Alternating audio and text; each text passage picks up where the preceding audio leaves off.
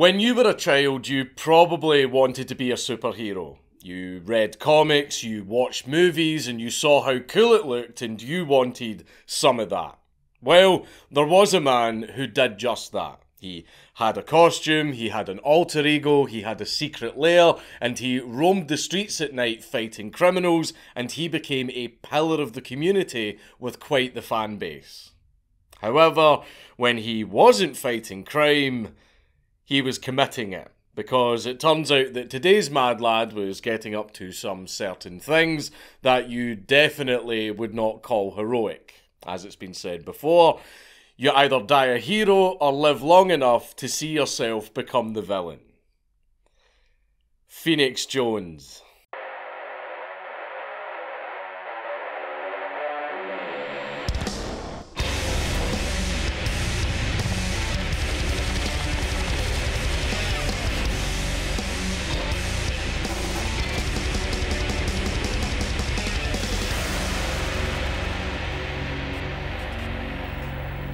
Please leave a like and a comment on this video because it really helps me in the algorithm. But before we get into the video, we have a new sponsor. Fum.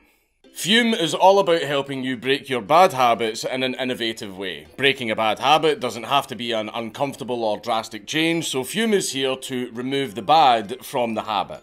Fum is an award nominated device that will help you do just that. Instead of using electronics, however, Fum is completely natural and instead of inhaling vapour, Fum instead uses flavoured air. Not only is the air flavoured, it is made using all natural, delicious flavours that contain no harmful chemicals. So, Fum is all good with no bad sides. You can simply enjoy your habit guilt free and replace your old bad habits easily. Your Fum will come with an adjustable airflow dial that is designed with movable parts and magnets for fidgeting, giving your fingers a lot to do, which is helpful for de-stressing and anxiety while breaking your habit. After trying Fum myself, I was honestly quite surprised. I didn't think it would be as flavourful as it is. It feels very fresh and the moving parts are great for helping fight stress. Stopping is something we all put off because, well, let's face it, it's pretty hard, but switching to Fum is easy, enjoyable, and even fun. Fum has served over 100,000 customers and has thousands of success stories, and there's no reason that can't be you. So, join Fum in accelerating humanity's breakup from destructive habits by picking up the Journey Pack today. Head to tryfum.com slash Dankula or scan the QR code on the screen and use code Dankula to get 10% off when you get the Journey Pack today. That's tryfum.com and use code Dankula to save an additional 10% off on your order today. I know that superheroes are kind of overdone these days, and we do all wish that Marvel would just shut up and stop, but there have been a couple over the years that have stood out Kick Ass and Defendor. Both of these movies had some similarities where the protagonist decided to become a superhero while being a completely ordinary and average person.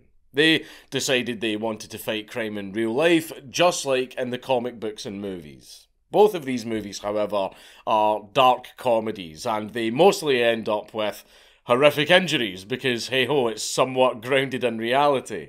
But the person we're going to talk about today isn't from a movie or comic, at least not originally. While it may be funny to see someone dressed up in their super suit, the reality of it is a little bit darker. Not much is known about the earlier life of Phoenix Jones, other than him being born as Benjamin John Francis Fodor on the 25th of May 1988, somewhere in Texas, where he grew up in a bunch of different orphanages. Which is actually quite a common backstory for a lot of superheroes. But anyway, as an adult, he moved up to Seattle, Washington, where he first made a name for himself training to compete in semi professional MMA. Benjamin would fight in the welterweight class under the names Flat Top and Vigilante. That last one might be a little bit of foreshadowing of where his mindset was at the time. His debut fight was on November the 2nd, 2013, for Cage Warrior Combat 9, where he beat his opponent, Zach Cohn, in three rounds, with the judges making a unanimous decision in his favour. A year later, on April the 6th, 2014, Ben entered the ring again for Combat Games MMA Super Brawl 1, this time beating Nick Cochran in two rounds with a technical knockout. Things were actually looking really good for Ben's MMA career. In fact, he won his next two fights, then had a draw, then had another win. He had absolutely no fear in the ring and would usually just start swinging straight into his opponent as soon as the bell went. Then, on April the 10th, 2015, Benjamin decided to use a new pseudonym in the ring.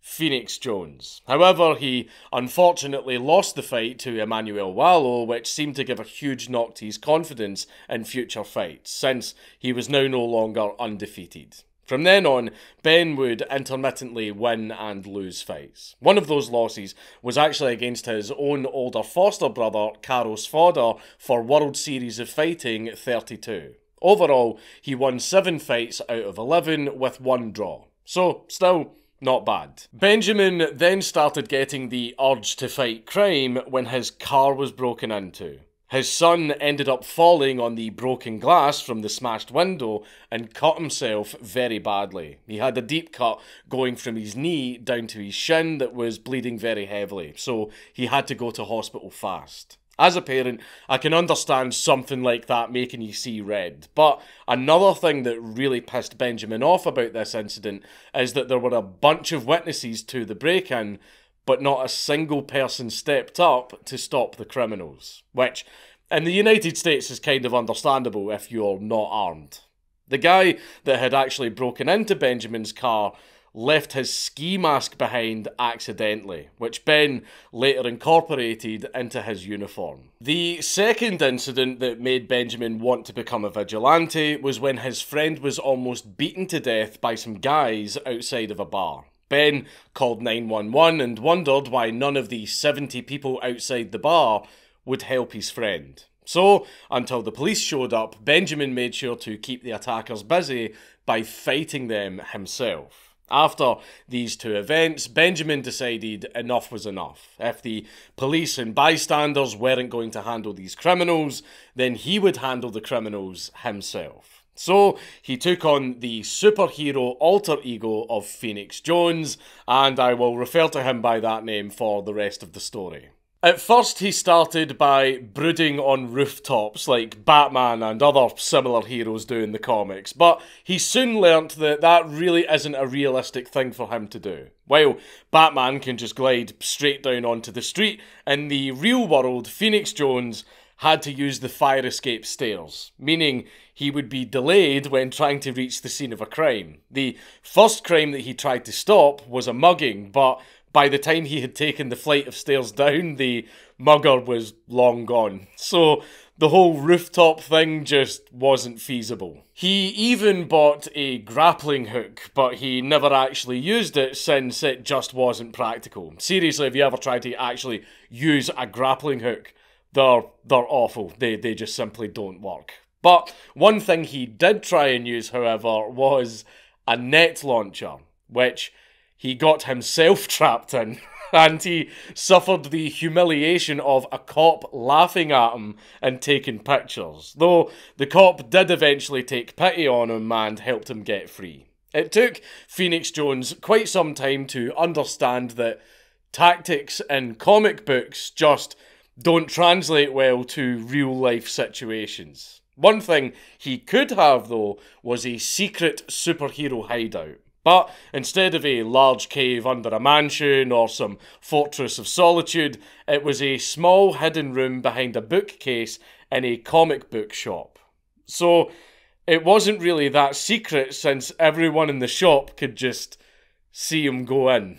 To realistically fight crime, Jones purchased a $10,000 dragon skin branded bulletproof vest with stab plating, which included reinforced Kevlar. And he carried pepper spray rated at 2 million Scovilles, he carried handcuffs, a first aid kit, plus a stun baton. Police allowed him to do his thing since technically he wasn't breaking the law, but they also didn't support or encourage it stating that one day he would end up getting himself killed.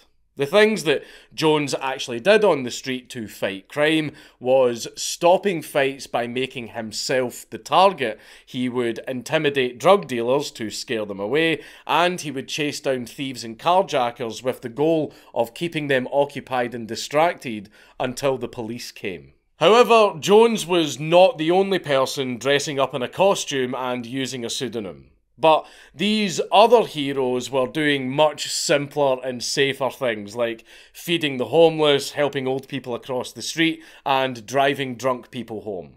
All things that you can do without virtue signalling or dressing up in a ridiculous costume. But hey, if you are actually doing the world some good, then I don't really care if you're prancing around in a leotard. Those kinds of superheroes didn't agree with what Jones was doing, and they thought he was mentally ill, which might be true since while fighting crime, Jones had been shot at and stabbed. But despite all of that, he still always returned to fight crime. During one incident, Jones was going after a guy who had a 38 revolver, and Jones had to take cover because the guy opened fire on him. Jones counted the shots, and after the sixth shot, he ran out to try and tackle the guy, forgetting that 38s also come with eight chambers, don't they?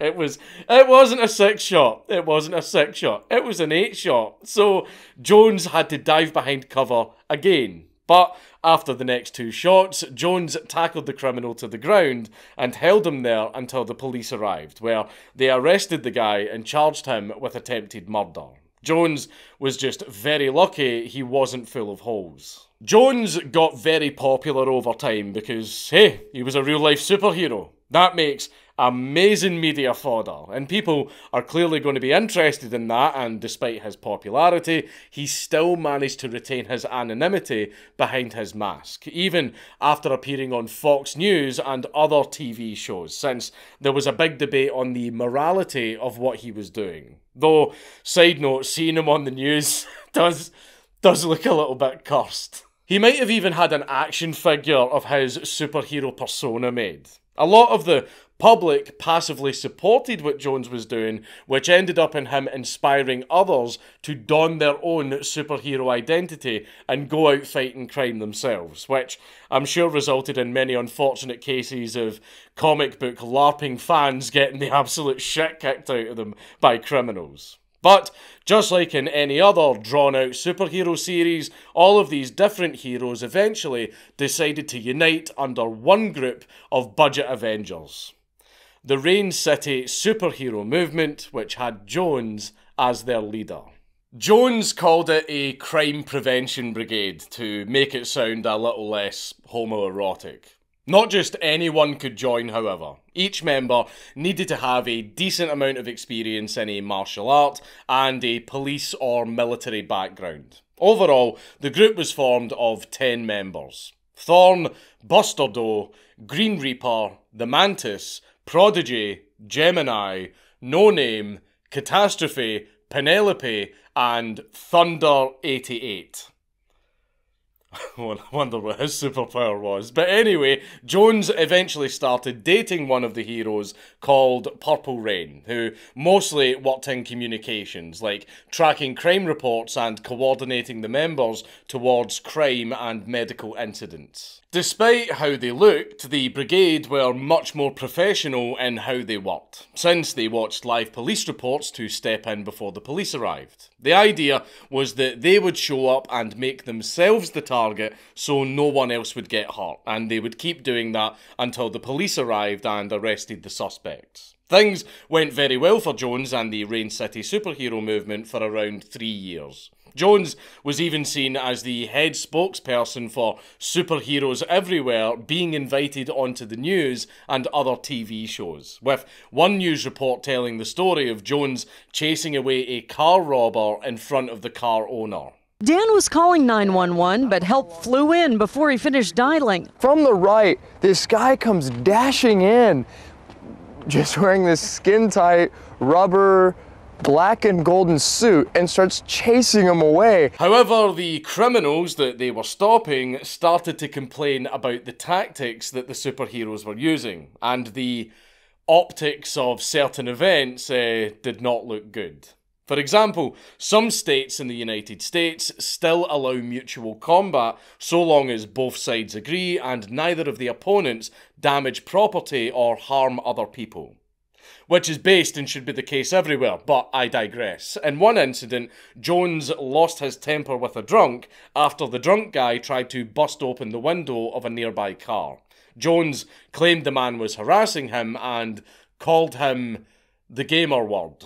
So Jones challenged the man to a fight. The drunk man agreed and proceeded to get the absolute shit kicked out of him because even though Jones is a man dressed in a funny suit, he's still a trained MMA fighter. In another incident, Jones himself was arrested for assault while attending what he thought was a street fight between multiple people, except when he tried to break it up, they all ganged up on him. Now, why would they do that? Well, the police report said that the people were not fighting, they were all just dancing. And Jones ran into the fray and sprayed them all with high grade pepper spray. Jones. I'm sorry. I'm sorry. The the reason the reason I'm finding that so funny is I'm just picturing everyone dancing and everyone's having a good time and then this fucking guy turns up and this fucking suit and just fucking bear maces everyone.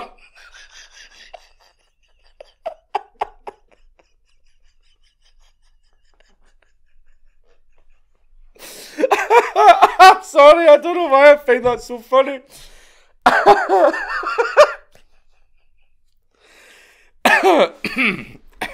let's, let's just let's just keep going. Uh, Jones, Jones had to uh, Jones had to spend the night in jail and paid three thousand eight hundred dollars for bail.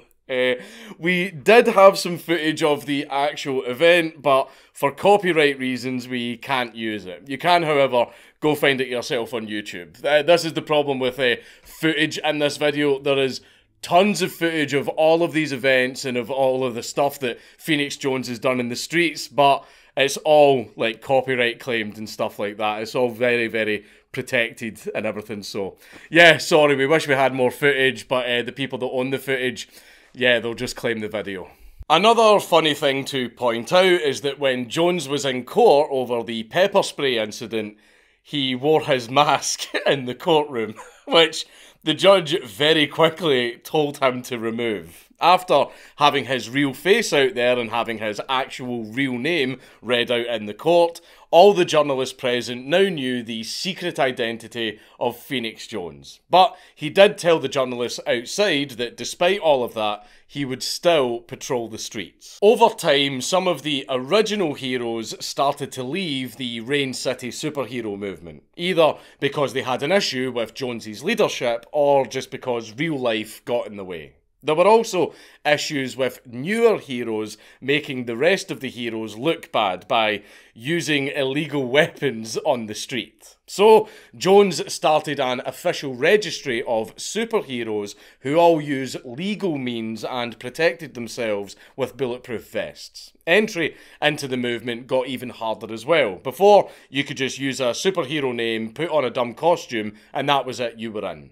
But now, new members had a bunch of requirements. Like, you had to wear a GoPro and live stream your patrol, you had to attend 15 patrols in total, you had to stop a violent crime, and you had to attend to a medical situation. Even with this in place, however, there were still people suiting up and committing grittier kinds of vigilanteism. You know, a bit like the Punisher or Rorschach or Rorschach or however the hell you pronounce that. Jones knew that these people would eventually make it impossible for him and his group to keep patrolling, since, you know, bystanders and the public at large would just start to see these superheroes as thugs. But as the saying goes, you either die a hero or you live long enough to see yourself become the villain. And in 2020, Phoenix Jones was arrested for trying to sell MDMA to an undercover police officer. And his girlfriend was also caught with 4 grams of cocaine. It turned out that everyone's favourite superhero was a drug dealer. Now, how the hell could that be? Phoenix Jones hated drug dealers, and he always chased them out of whatever territory he was patrolling. Well, it turns out there might have been a reason for that. Being a superhero isn't exactly very profitable. You know, you're not exactly on the city payroll, and it's not like Jones had Bruce Wayne's billions to fall back on. So, obviously, he had to make money somewhere. So, there is a theory, bear in mind, just a theory, that by night, Phoenix Jones would chase all of the drug dealers out of his territory. Then, once the drug dealers were gone and there was a market of high demand but no supply, his true identity, Benjamin Fodor, would step in and sell people drugs. So he was basically using the superhero persona to get rid of his competition. It's never been confirmed if that was actually true. But true or not, even with just the drug arrest, it looked very, very bad for Phoenix Jones, especially once the arrest hit the papers. And his image was completely destroyed, since while preaching justice and the letter of the law, it turned out he was just a massive hypocrite. But it wasn't just the drug arrest that made people lose faith in him. His fellow heroes also felt that Jones was starting to grow a really narcissistic personality, and he seemed to actually believe he was a genuine superhero. Like, not just a LARP and, you know, I'm doing this for a bit of fun and to do some good, haha, nice hobby. No, he was starting to believe that he genuinely was a superhero, and people were starting to get a little bit worried that he might just be losing his mind a little bit. Over time, all of the other heroes got a little bit apathetic, since they didn't see any real change from what they were doing. That, coupled with the arrest of their leader kind of ruining all of their images, made a lot of the heroes hang up their capes and retire. The Rain City superhero movement has long since been disbanded. Superheroes obviously give out a very positive message. Protect the innocent, defend the weak, offer help to anyone that needs it, and look out for the safety of everyone around you. All very noble qualities that I'm very happy for children to aspire to. But when it turns out the guy who was supposed to represent all of that was just a massive hypocrite, it kinda destroys the message. Since his arrest, Phoenix Jones has hung up his cape and retired, and he now goes by his normal name of Benjamin. He has pretty much disappeared from the limelight. He hasn't returned to MMA, and there is pretty much nothing on him since the fallout of his arrest. He has pretty much vanished. But maybe one day he will return, during a time where we need him most. Like, when you're going to Colours Fest and your usual guy isn't answering his phone. It's Count Dankula on YouTube. Everybody subscribe.